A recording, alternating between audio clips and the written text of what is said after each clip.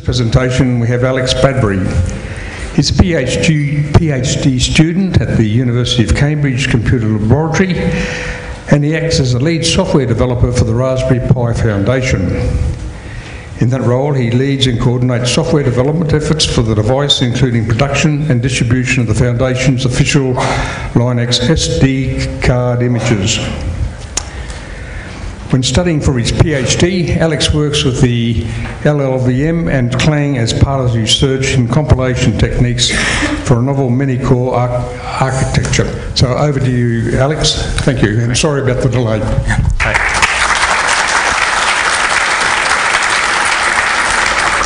Right, uh, so uh, thanks very much for that introduction, and also thank you for um, the LCA organisers for making it possible for me to be here. Uh, so this talk is going to be rather more technically oriented than many of the previous Raspberry Pi talks I've given. Um, yes, the outline isn't all that relevant, but I'll start off with a, a little bit of an overview of the educational aims and a bit of an introduction to Raspberry Pi, though I'm sure that most of you are pretty familiar. Um, could I just have a show of hands, actually, how many people actually own a Raspberry Pi? Ooh, very pleasing. Very All right, those of you who didn't put your hand up, I'll be talking to you very sternly afterwards. Uh, so, we're charity. So, so, the Raspberry Pi Foundation is a UK registered charity, so it was set up, uh, well, we're actually incorporated a few years ago, but we only really hit the public uh, sphere um, sort of uh, about a year and a half ago. Um, the the unit went on sale at the end of February last year. Uh, we're approaching 1 million shipped, and essentially we produce a low-cost credit card-sized circuit board, which is a full Linux computer. And the stated aim of doing this is in order to uh, act as a tool which can be used in education to improve the teaching of computer science in the UK and worldwide. Uh, but of course, as I've been discussing with many of you so far at this conference, there are many other applications. So uh, in case you're not familiar with the basic I.O., we have uh, up at the top there we have GPIO pins for hooking it up to various sensors, uh, external devices, SPI, I2C, I2S, uh, composite output for old-style televisions or preferred, obviously, HDMI output, as well as Ethernet and two USB ports on the Model B. Uh, the picture I'm showing you here, this is actually the latest revision, um, the, which was updated a number of months ago. So when we first launched, it was uh, 256 megabytes of RAM um, of the package on package on top of the uh, Broadcom chip, which is our, gives our CPU and GPU. Um, but we've upgraded that to 512 megs, and perhaps the more more pleasing, well, even in a way, more pleasing upgrade is that it's now made in the UK, which is we're all very pleased about. We could move all the manufacture uh, well, a substantial portion of the manufacture. I think there are some which are still coming out of China to uh, Pencoed in Wales. Um, yes, and it's a ARM11 76 uh, processor running at 700 megahertz, which I'll discuss a bit more when we come to discuss the uh, various issues we've had with optimizing the uh, various Linux distributions to run on our platform. Now, the basic motivation is one which uh, I don't think I need to take too much time to try and uh, get you to see my point of view or persuade you in any way. I imagine that I'm preaching to the choir essentially. Uh, the, you know, the, the, problem is that there's a shortage of computer science talent in the UK and worldwide. And on the one hand, it's quite helpful for those of us who are entering the workforce because for, we go to careers events and there are more companies than there are people looking for jobs, which is always nice. But it, you know, it, it has negative, negative effects as well for companies looking to hire and potentially the economy. And the argument, so the argument is often made purely in terms of that aim uh, in order to uh, produce more people who can enter the workforce working with CS, but uh, I think the stronger argument is more fundamental than that, which is that just like we teach children biology, physics, and chemistry so that they can understand the physical world around them, uh, we also need to teach children the basics of computing so they can understand the digital world in which they now inhabit. Um, it's sort of tragic that children have um, missed out on this, as Bdale said in his keynote. So much, a lot of education is focused on applications of computers rather than concepts, and the sort of applications are often PowerPoint or Excel, when actually when uh, you know, there's all sorts of exciting things, as we know, that children can start to learn how to do when they um, get the concept that actually a computer isn't a black box where you, you, know, you go into the Apple store and you buy it and you can perhaps download a few apps onto it, but otherwise it, it does what it does. Um, but actually you can, if you have a problem, you can come up with a solution, code it up, and solve it yourself.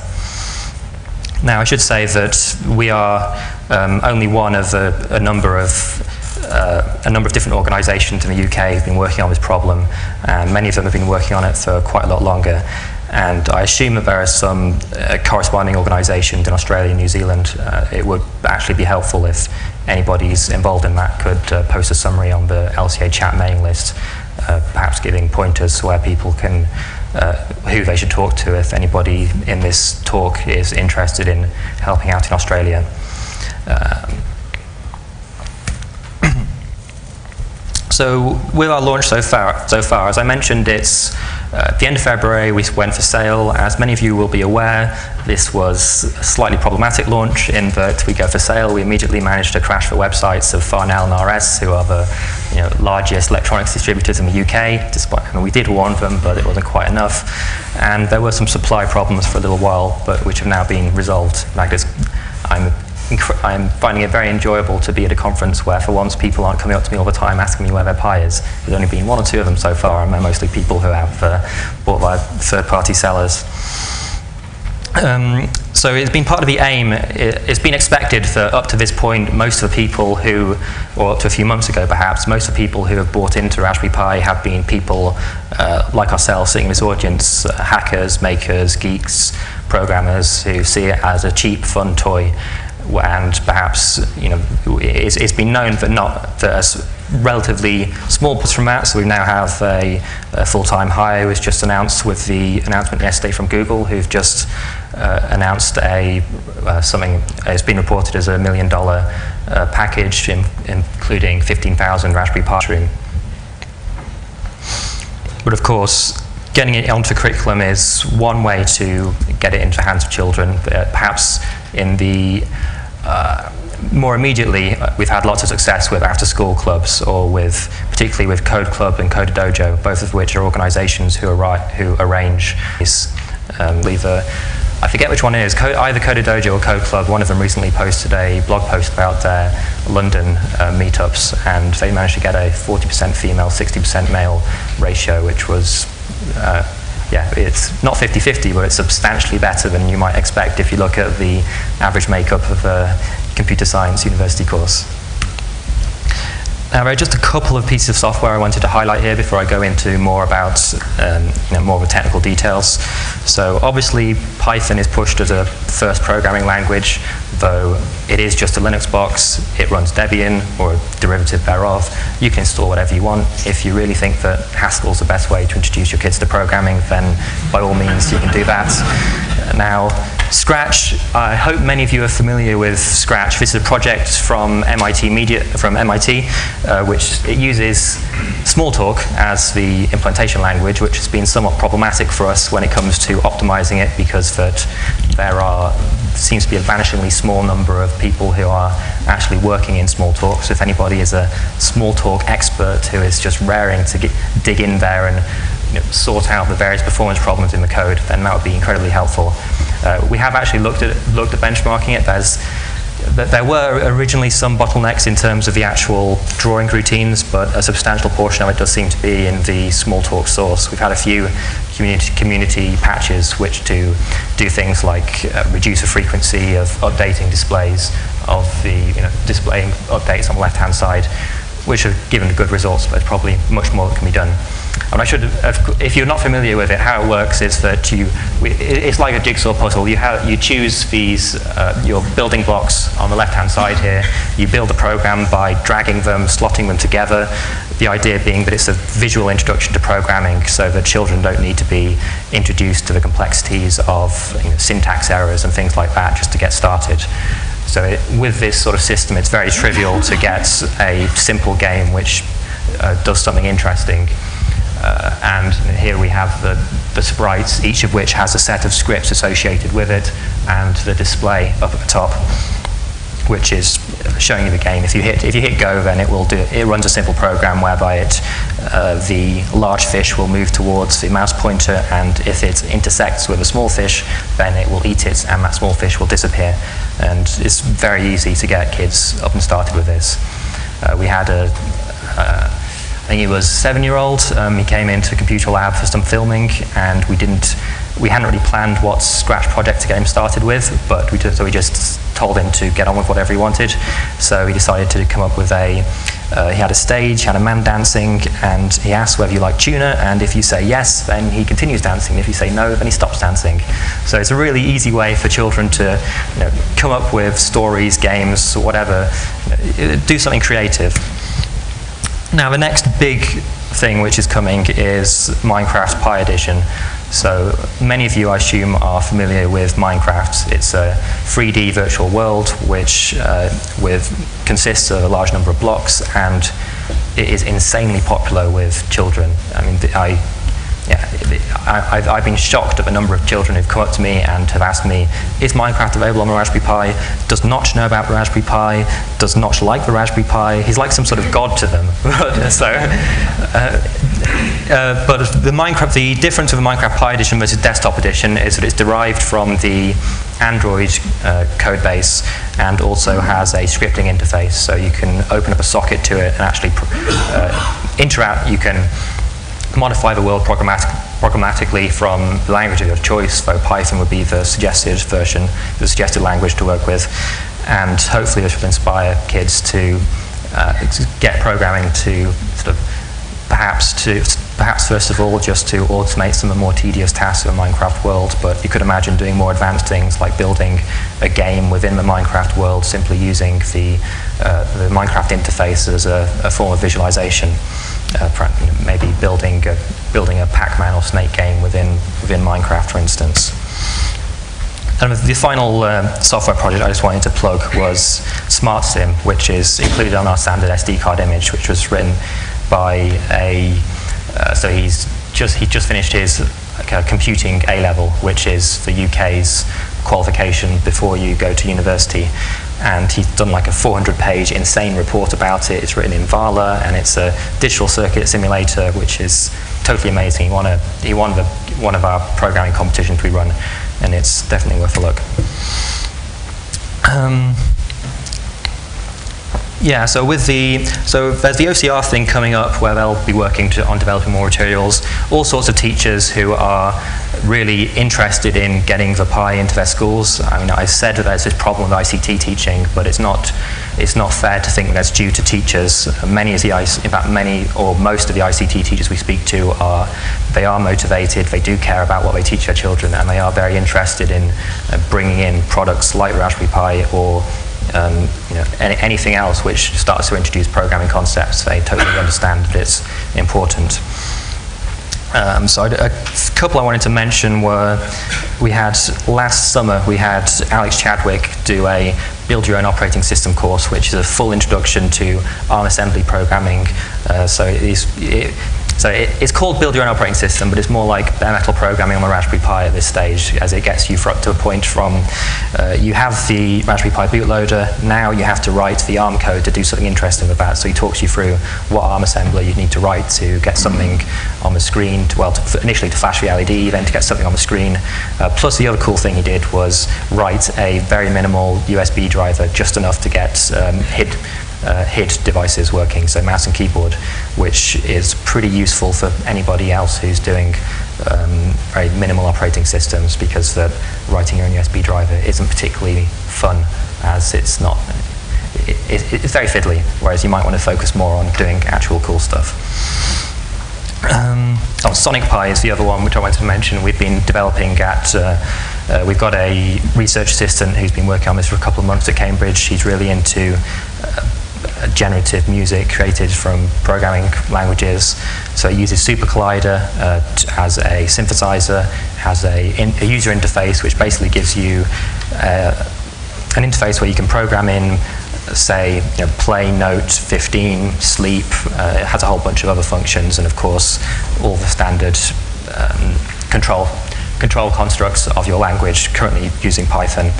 And we've done about, I think, so it's being trialled with a teacher called um, Carrie Ann Philbin in uh, East London, and the feedback we've got so far is really, really positive in that it's, the, the, I mean, the motivation is that if we use something which is uh, interactive in order to get children to programming. It may appeal to children who um, otherwise may not be as motivated.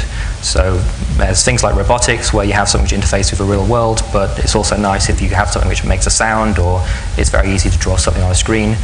Whereas, because basically I think that many of us would have been or were very happy with you know, print hello world and it displays on the screen and we were overjoyed, but some children just don't really see the point. It's, uh, they see this as more interesting and they've had really good results just sitting down there playing around, making coolish music and then modifying the code to make it somewhat better. Right, now the Raspberry Pi software stack is well, first of all, Raspberry Pi software stack is whatever you want it to be in the sense that it's an SD, there's an SD card, it's pretty easy to port whatever operating system you want to for it, and there's no requirement that everybody runs the exact same operating system or the same Linux distro. That said, we tend to we push a Debian-based derivative called Raspbian as our standard um, SD card image. Now, Raspbian is actually a full recompile of the Debian package archive, which is well, if you're familiar with the Debian build process, this is a pretty impressive feat of work in that you know, I, when they, when they first started off, I thought it was very, it was very nice of them, very charming that they were so motivated to get going, but I questioned whether they'd actually have a tenacity to pull it off. But um, it was Mike Thompson and Peter Green. Uh, Mike Thompson, he bought something like $1,000 of ARM build hardware before he even got his hands on a Raspberry Pi, just because that he, he saw that um, optimizing specifically for the ARM processor, could, for the ARM chip we have, could be very useful. Set up this build farm and managed to hack together the Debian build, build scripts until it kind of worked and then iterated from there. Now, I should say this is actually something which I personally would like to see improve. I mean, it's, it is very difficult to, as far as I can see, to reproduce a Debian build environment outside of Debian.org. It's not very well documented. It's sort of hacked together with scripts, which is all very nice, but it would be, I think it would benefit a lot of people if it were easier to do this sort of rebuilding task. And there were some very interesting Google Summer of Code projects last summer looking at the bootstrapping problem, which was actually easier in this case because we took, or the um, Raspbian guys took the uh, the Debian port to using the hard floating point ABI, whereby you pass floating point variables on FP registers, and they um, and they, they did it on ARMv7 boards because the problem with the standard Debian ARMHF port is that it targets ARMv7, whereas we only have ARMv6, and they were able to just use um, ARMHF, uh, well, ARMv7 development boards and replace the, pa the packages as they went. In terms of desktop environment, we're currently using LXDE, Midori for the browser. Um, all of these things, if you have a preferred technology and you're absolutely convinced that it could do substantially better, please prove it, make an SD card image, show off. It, it, but I think the Raspberry Pi in particular is a really good platform for showing off technologies that may not have much uptake in the standard Linux desktop. It has, you know, due to the fact that it's relatively low powered, so the trade-offs are different versus um, what people want to use on a desktop. Uh, and also it's very easy to distribute SD card images, people to write them and just see what works for them. We've also introduced a, uh, a store for people to upload um, applications, tutorials, media files, which um, the majority of them are free right now, but people can upload paid applications if they want to. The motivation here being that um, at least Eben believes strongly that a large number of uh, entrepreneurship may inspire people. If they're not inspired by you know, submitting GPL code and all BSD and MIT stuff and you know, all holding hands with the rest of the world, they might like cold hard cash and the idea of making lots of money by producing a game and uploading it and selling it to other people. So our story of performance since launch, I hope that if you've, if you've been with us since we first launched, I think you'll have seen a pretty major uh, improve, improvement in performance since then. Uh, some of it was just from moving to Wheezy, the newer packages uh, seem to have various miscellaneous performance improvements. Raspbian, which I mentioned, was um, uh, was our next big performance boost. We've also introduced dynamic overclocking. Uh, we did support overclocking previously, but uh, this would potentially void your warranty. So it's just a CPU frequency scaler, which uh, you can set it to maximum overclock. Uh, most units can do one gigahertz on a CPU, plus you can overclock the, um, well, you can overclock one of the core clocks on the BCM 2835 SoC, which helps with the L2 latency and memory latency, and overclock the SD-RAM itself.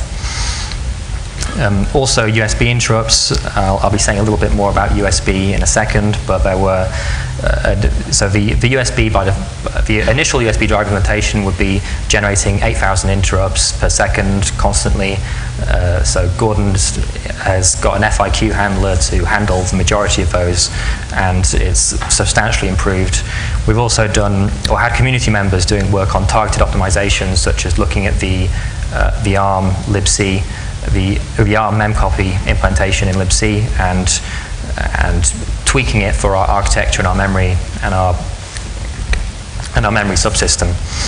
Also a bunch of bug fixes. Um, perhaps most embarrassingly, we had the SD card clocked to some uh, rather silly rather silly rates. So initially it was a base clock of 75 megahertz, which isn't, you want to start from 100 megahertz or 50 megahertz really for SD cards as your target clocks 50 or 25. And there was a division by two, uh, there was an extra division by two, which led to substantially impaired SD card performance. So someone submitted a one-line patch which made it way, way better, and we liked it. Now, we're, um, so there are a whole range of operating systems which currently run on the device. Uh, most people are running Linux. Um, there have been Android ports by the community, and we've shown a internal Broadcom version of Android running. Uh, FreeBSD has released now. I should have had NetBSD on the list also. Um, Plan 9 has a pretty uh, complete release, and there's also RISC-OS, but um, that's not a they're, they're obviously not using a full free software license, so it's maybe of limited interest to some of you. Now,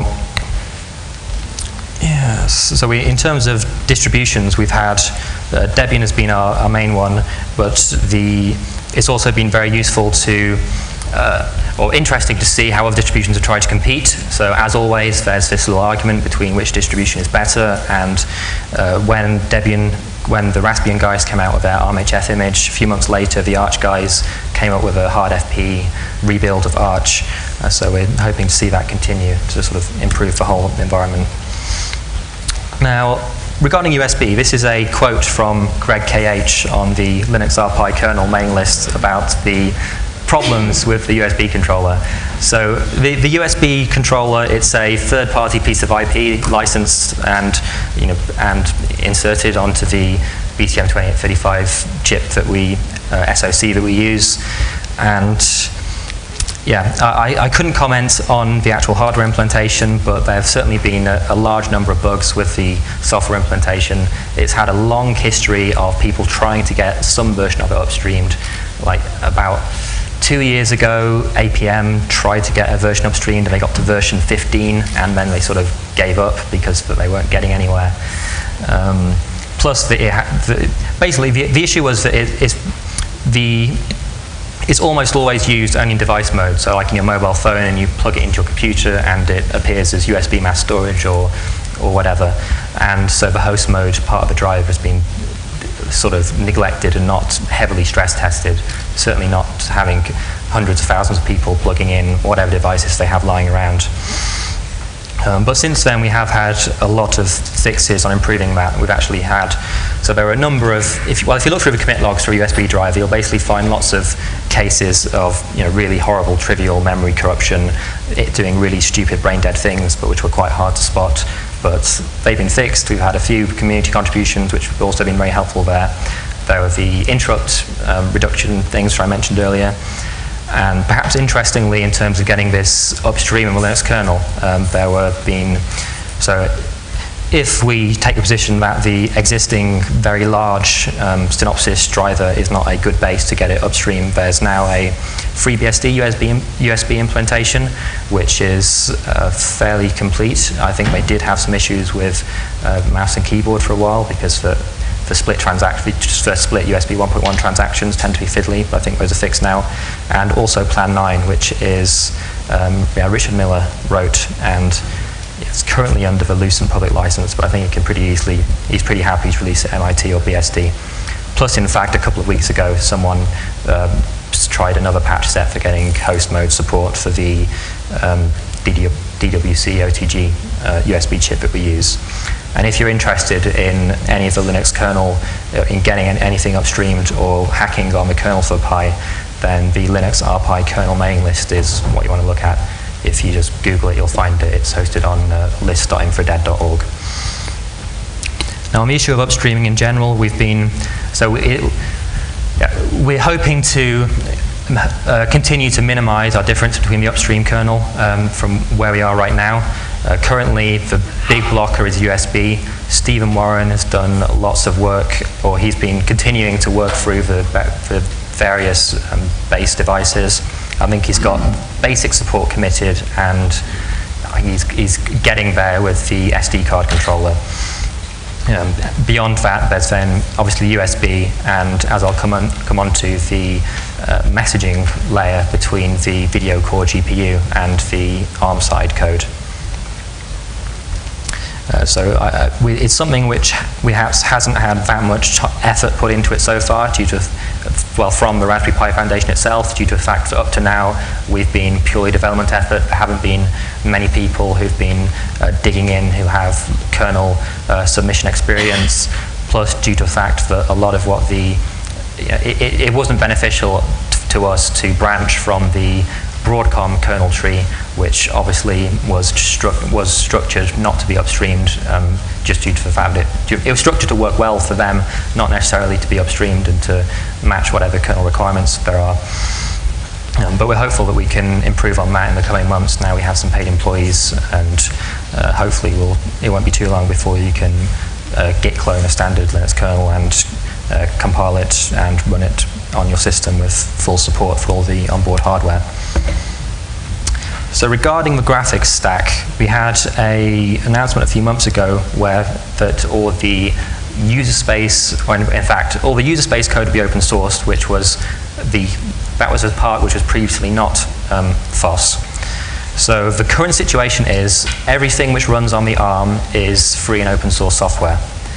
So that means that the kernel driver, as it always has been, is GPLs, and your libgles, libopenmax, libopenvg, those are all um, released under a BSD licensed license.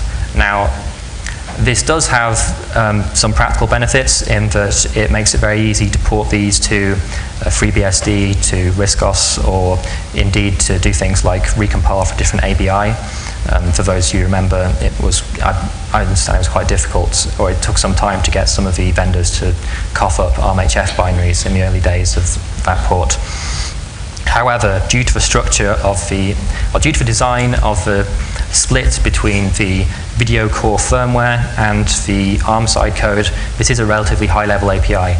So the, it has some quite fiddly buffer management stuff in there, but otherwise, when it comes, each of your GLES calls are roughly sending a command stream to the video core chip, and that firmware is a, is a closed is a, a closed piece of software.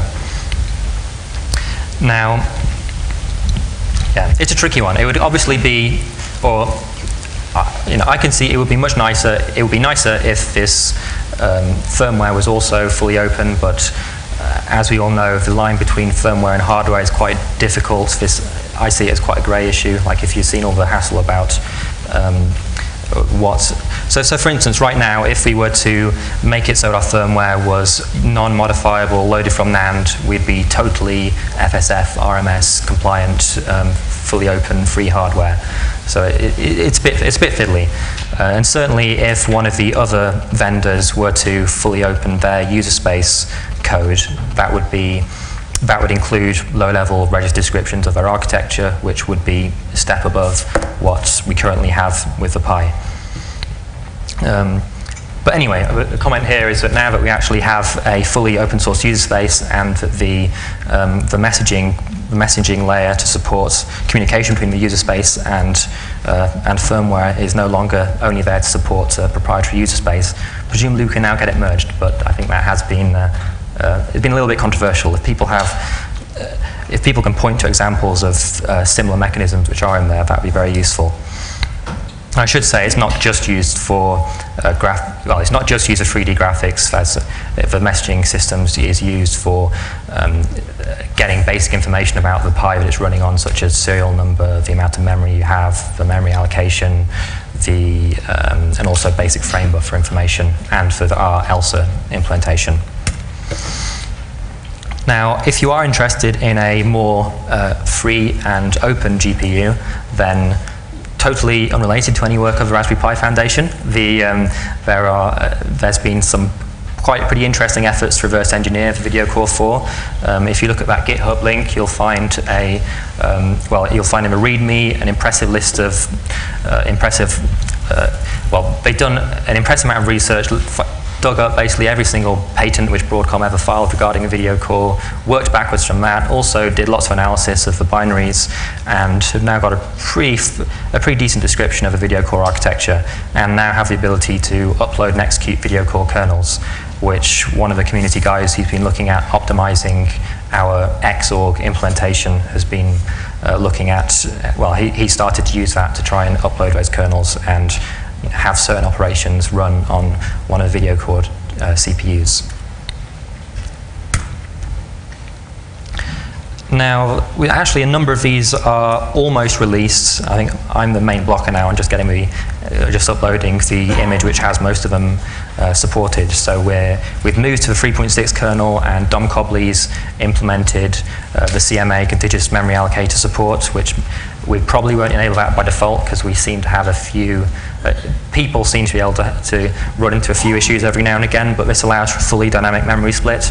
Right now, you have to choose your, the allocation of memory between the CPU and the GPU at, at boot time. At least you modify a config file which, which um, indicates how much to have for CPU, how much for GPU. Uh, with, with CMA, we can have that um, switch between, we can have that switch at we can have that change at runtime depending on what the user's running. We've had some work on optimizing Pixman, which is the rendering library, which is used by Cairo and Xorg and a whole bunch of other stuff. Specifically, uh, optimizations, optimized ARM code for various operations there. So again, we're running an ARMv6. Linaro previously submitted a bunch of stuff for ARMv7 using the Neon instructions, which we don't have. Uh, so we've had a, a, a, very talented guy looking at looking through this, and those patches are published to the Pixman mailing list in December. Uh, should hopefully be merged soon, and we should have a version of Pixman compiled to those optimizations in the next SD card re image release in the next few days. Uh, now, in terms of Xorg, so optimizing Xorg is, has been very public. It is very difficult due to the fact that we can look at optimizing Pixman, and it would be ideal if we could offload as much as possible to the GPU, given that with the Raspberry Pi's architecture, we have a very powerful GPU, which is up there with the current generation SoCs in mobile phones, whereas the CPU is comparatively perhaps a little bit weedy. It's, you know, ARMv6 is a generation or two ago. Now, in practice, it's very, very difficult to usefully offload the work to a GPU as far as, you know, as far as we've been able to investigate. The efforts to implement Cairo or other rasterization libraries with a GL backend have all had uh, mixed success at best from everybody I've spoken to. Uh, plus, you all, the, the, way these, and partially this is due to the fact that the way these APIs are used, you often end up by submitting a small amount of work and then very quickly you ask for a result back. And we, you know, if you have a unidirectional stream of commands and then you ask for the composed result of that at every single frame, then that works very well for the implementation of GPU, but if you're asking for you know, thousands of little opera operations, then the latency is going to totally kill you, and you get, you, you get a horrible performance slowdown. Um, we have had a, uh, we did have some work done by Collabora on implementing Wayland support on Raspberry Pi, which is actually merged upstream again. Um, so if you have a look at the Wayland website, you'll actually have instructions on uh, downloading, uh, compiling Wayland, and it, it, actually makes use of, rather than just the GLES backend, it uses the dedicated compositing hardware, which the Broadcom chip has. It's not a fully there are still some issues with it, but it's probably worth a play if you're interested in that. Um, other general stuff which will be happening in the future is, well, potentially there's a first boot experience and making it a bit easier for kids who are plugging in their Pi for the first time, and definitely things like deploying and managing it in a classroom.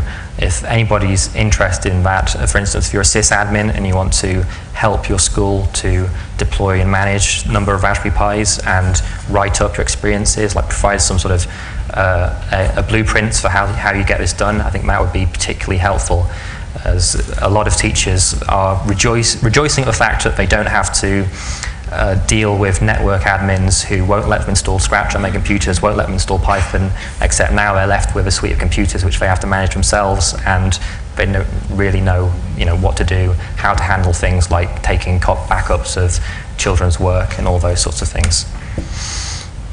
Um, yeah, so I mentioned the upstreaming effort. I suppose the other two, the hardware things which will be coming up in the near future are the camera module, which you'll probably see next month, which is a that's a 5 megapixel camera, supports uh, using our GPU, we can do real-time H.264 encode at uh, 1080p.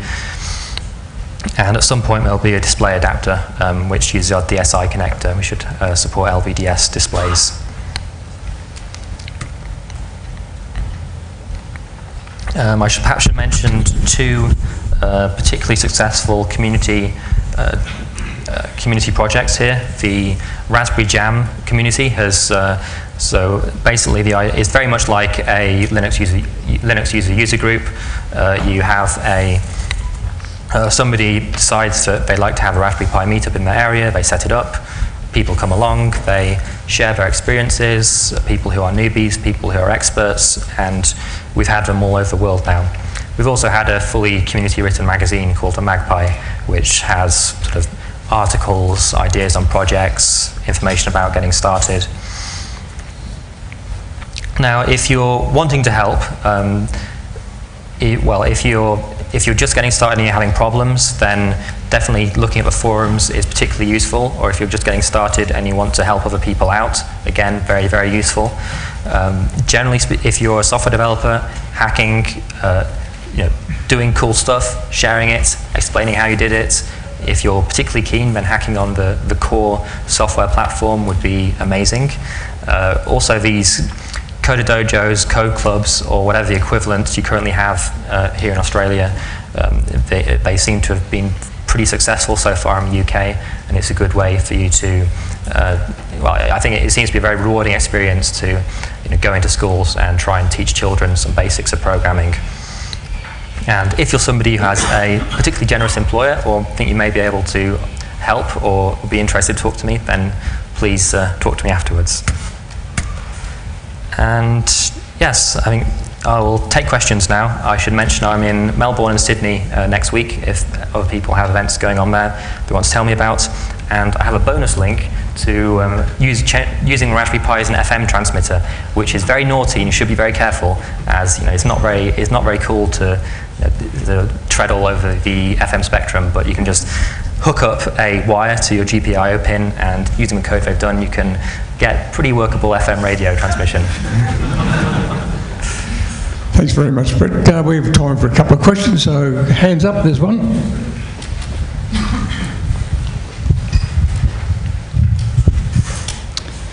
I've got a five-year-old son. How do I get him started with Scratch? Like I've had a little too sick and play with it and it doesn't look that obvious. I want to kind of, is there some tutorials or something like that on the web that we can, in a project to kind of follow along?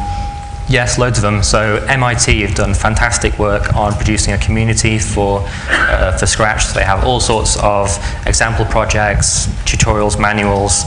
Also, the UK-based Computing at School group, they have a, a, Raspberry Pi educational manual which has a chapter dedicated to Scratch, which should um, give you a walkthrough to get you going.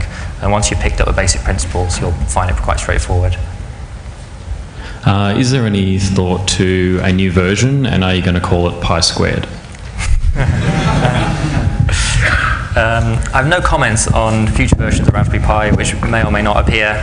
Uh, some of you may, may be familiar with the Osborne effect, the story of the Osborne Computer Corporation pre-announcing a new product. Um, as I hope that I've described here, we're focusing very heavily on uh, build, supporting, improving, optimizing our current platform. Uh, we're very happy with it, how it is. I've got one up the back.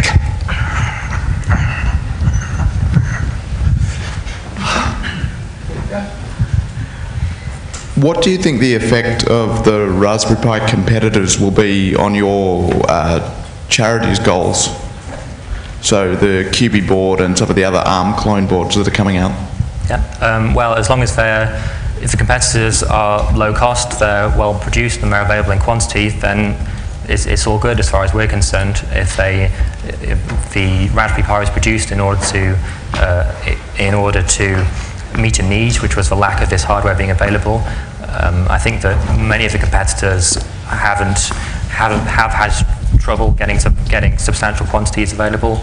They don't have the same user community we have right now, um, so there are uh, definitely advantages to Raspberry Pi as it stands. But if someone comes along and does it substantially better, and it's still uh, you know an easy-to-use platform which anybody can program for, it's all good. Okay, uh, that's been a fantastic presentation, and uh,